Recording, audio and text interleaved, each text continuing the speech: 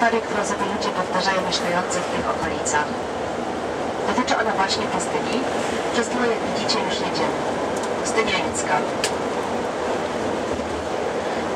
Wiele lat temu, bardzo dawno temu, pewien prorok wędrował przez pustynię.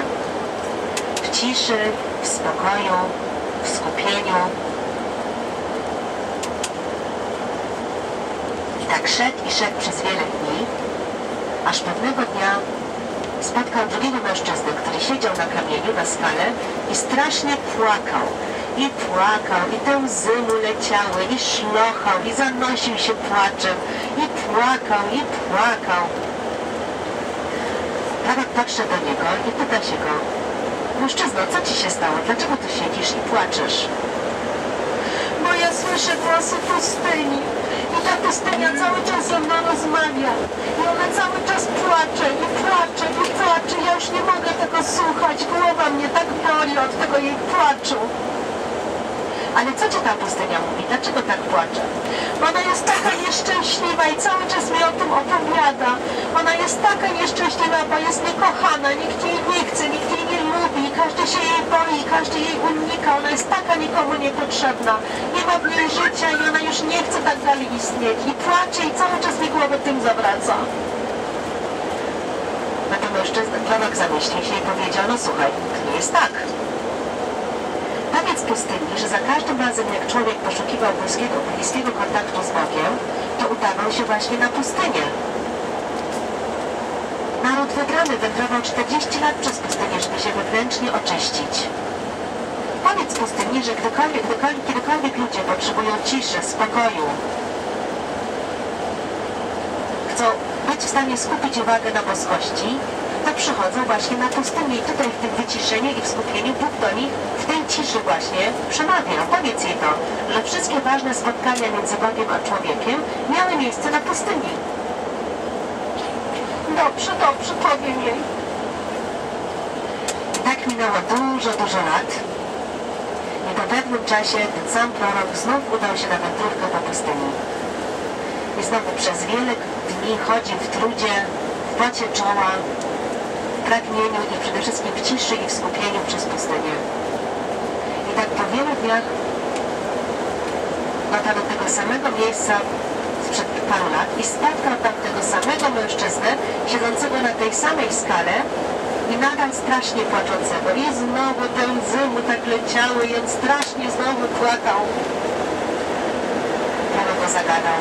Mężczyzno, przecież ja Cię pamiętam, już tutaj kiedyś się spotkaliśmy i Ty znowu tu siedzisz i znowu tu płaczesz. Czemu? Bo znowu przez tą pustynię. Ona znowu tak strasznie płacze, a mnie już tak głowa boli od tych jej płaczu. Ale przecież rozmawiałeś z pustynią, przekazałeś jej o co Cię, prosi, co cię prosiłem. Tak, wszystko jej powiedziałam, ale ona nadal płacze. A spytałeś się pustyni o co chodzi tym razem? Tak. Pustynia teraz strasznie płacze, bo ona sobie nie zdawała sprawy z tego, jaka jest potrzebna. Ona nie wiedziała, że ludzie tak bardzo jej potrzebują i tak bardzo ją kochają i szanują. Ona nie wiedziała, że prowadzi do Boga i teraz strasznie płacze, że tyle czasu zmarnowała na łzy. No to prorok się zamyślił. W końcu powiedział, wiesz co, powiedz już tej pustyni, że wystarczy. Teraz czas zacząć nowe, nowe życie. Niech pamięta moje słowa, niech się nimi raduje i niech natychmiast przestanie płakać. Dobrze, tak jej powiem. I znowu minęło wiele lat i znów ten sam prorok wędrował przez pustynię. Szedł wiele, wiele, wiele dni w słońcu i pewnego dnia dotarł do skały, na której kiedyś siedział mężczyzna i płakał. Ale tym razem już tam nie było nikogo, moi drodzy, a z samej skały napływał strumyk świeżej, źródlanej wody. Tak pustynia odwdzięczyła się za, za lekcję, którą otrzymała od proroka. Moi drodzy, teraz jesteśmy w okresie Wielkiego Postu. Jest to dla nas czas, gdzie powinniśmy zrezygnować z rzeczy, które sprawiają nam przyjemność. O to właśnie, jak wiele ludzi uważa, że trzeba cierpieć i trzeba się biczować i trzeba...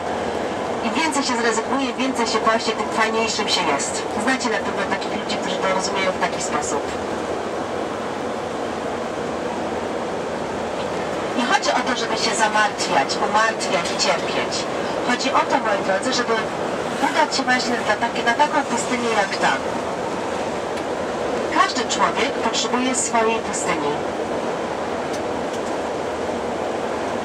I wyrzekając się właśnie rzeczy, które zazwyczaj odciągają naszą uwagę od Pana Boga, od tych rzeczy, które są naprawdę ważne, udając się na taką pustynię, właśnie przed tym wszystkim uciekamy. Tutaj na pustyni jest minimalna ilość tego, co jest nam potrzebne do życia. Tylko, tylko tyle, żeby zaspokoić nasz głód i nasze pragnienie, nic więcej. I tutaj w tej ciszy i w tym skupieniu, i w tym całym czasie, który zyskujemy, rezygnując z pogoni za rzeczami, które nie są tak bardzo potrzebne, jak tylko uważnie będziemy wsłuchiwać się w siebie i w tą ciszę wokół siebie, to wtedy, moi drodzy, także usłyszymy głos Boży. Po to jest, moi drodzy, post. Dlatego właśnie każdy człowiek potrzebuje takiej pustyni, jak ta, którą mamy wokół nas. Oczywiście, że pustynia nam się kojarzy z wyrzeczeniem, z trudem, z upałem, z walką o życie. Nikt raczej dobrowolnie by się na taką pustynię nie wybrał, a to okazuje się, że właśnie czegoś takiego pilnie potrzebujemy, każdy z nas. I post daje nam właśnie taką możliwość. Rezygnując z rzeczy, które sprawiają nam przyjemność, rezygnując z tych wszystkich zbędnych rzeczy, które odciągają nas od tego, co naprawdę ważne, udajemy się właśnie na taką pustynię jak ta, którą mamy za oknem.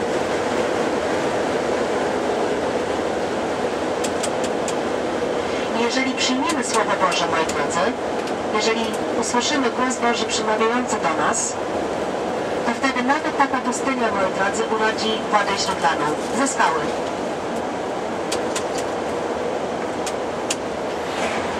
Mimo, że pustynia kojarzy nam się przede wszystkim z miejscem bez życia, okazuje się, że to właśnie na pustyni spotykamy początek wszystkiego, początek i koniec wszystkiego.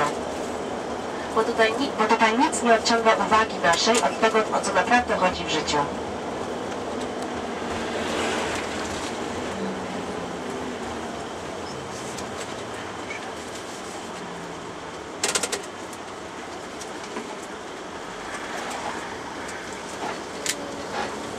Tam już przed nami widać kawałeczek Morza Martwego, ale to jeszcze nie ten moment, żeby się nim zajmować.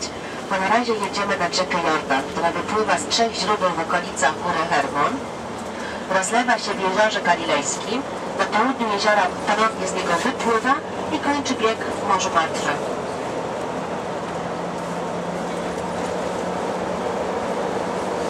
Już za chwilę będziemy wysiadać z autokaru. Zobaczycie, że będziemy wjeżdżać w strefę wojskową. Otworzy się szlaban i podjedziemy pod same granice z Jordanią. Na Jordanii będziemy mieć raptem 3 km, 3 metry. 3 metry. 3 metry. No.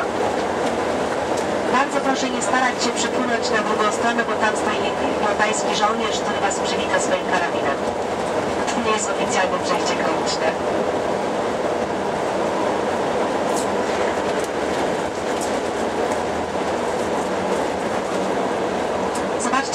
15 co dotychczas znamy z Izraela.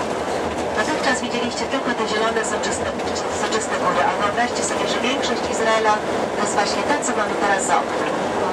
Tak to wygląda.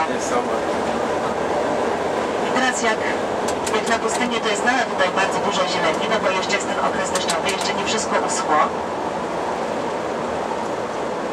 Ale i tak już wyraźnie widać, jaka to jest surowa i skalista pustynia.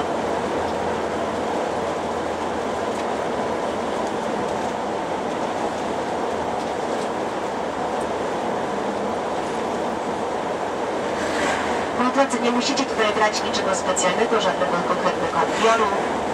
Zabierzcie proszę aparaty fotograficzne i w pierwszej kolejności udamy się nad samą rzekę Jordan, gdzie będzie możliwość odnowienia swojego chrztu świętego.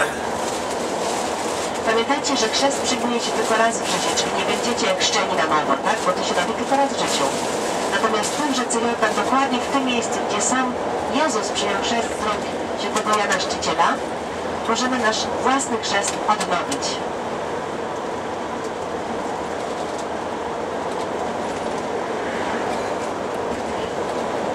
Nad rzeką Jordanu będzie czekać na nas fotograf, taki mały, chudy pan, ma większy aparat niż on sam. Wygląda niepozornie, a robi fantastyczne zdjęcia, naprawdę fantastyczne zdjęcia.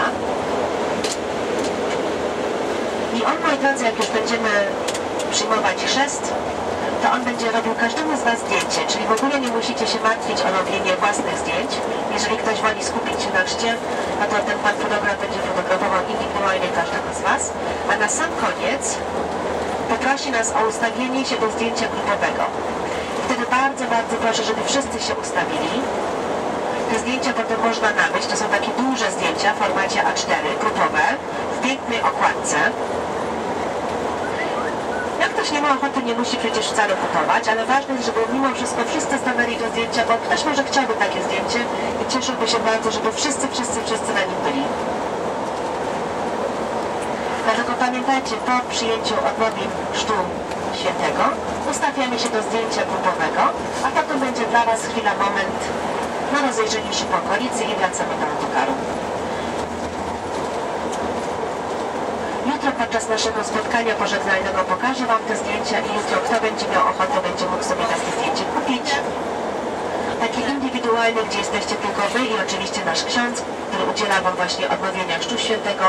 Takie indywidualne zdjęcie kosztuje 3 dolary. Natomiast to duże, grupowe, te A4 w tej okładce 5. I naprawdę raz jeszcze podkreślam, Pan nie wygląda na takiego, ale jest naprawdę bardzo fajnym fotografem. Bardzo ładnie mu to wychodzi.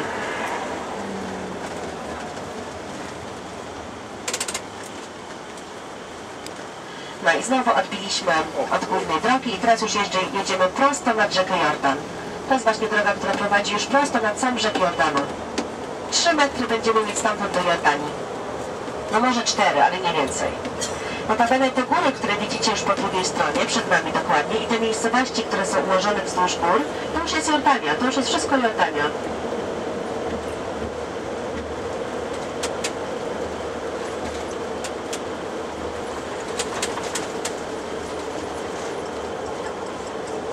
Zarówno po naszej stronie rzeki, jak i po przeciwległej znajdują się sanktuaria. Są to sanktuaria prawosławne rosyjskie, przepraszam, prawosławne greckie. I tutaj nad samą rzeką Jordanu, już po stronie jordańskiej, wybudował też cerkiew. Nie uwierzycie kto. Niedawno. Bardzo niedawno. Tak, dokładnie ten pan. Putin! Putin jest wszędzie, moi drodzy. Putin nawet wybudował w ostatnich latach cerkiew tutaj nad całą rzeką Jordanu.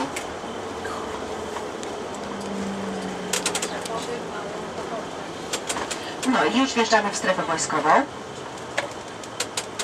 I jak widzicie po prawej i po lewej stronie wszędzie mamy ogrodzenia, ponieważ rzeczywiście te tereny po naszych obu stronach są jeszcze zaminowane. Tam nie wolno chodzić, bo tam są jeszcze wszędzie miny. Zresztą coraz zobaczycie ostrzeżenie na tych terenach.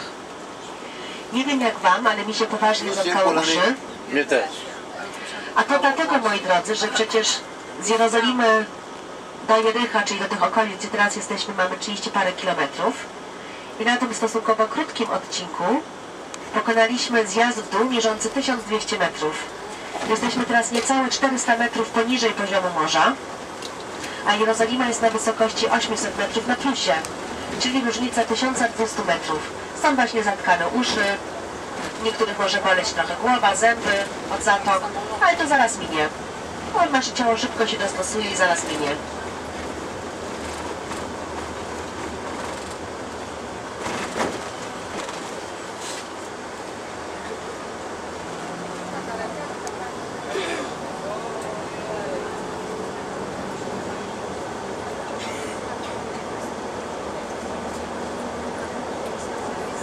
Czy można powiedzieć, że byliśmy w Jordanii?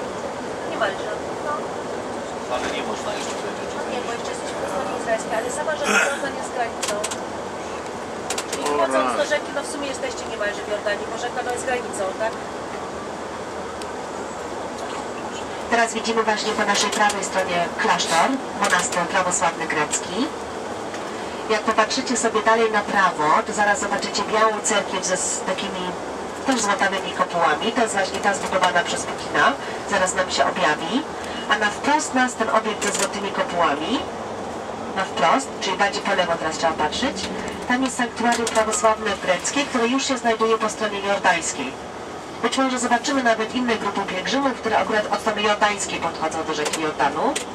I jak w 2000 roku był tutaj święty Jan Paweł II, no to odprawiał właśnie mszę po stronie jordańskiej, czyli zaraz zobaczymy tą platformę, na której stał.